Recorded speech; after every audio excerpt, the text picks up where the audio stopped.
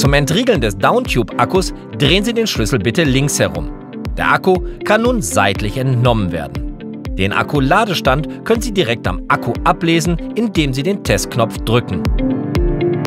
Beim Einsetzen des Akkus achten Sie unbedingt auf den korrekten Sitz des Akkus in der Akkuführung. Schlüssel abziehen nicht vergessen, um den Diebstahlschutz zu gewährleisten.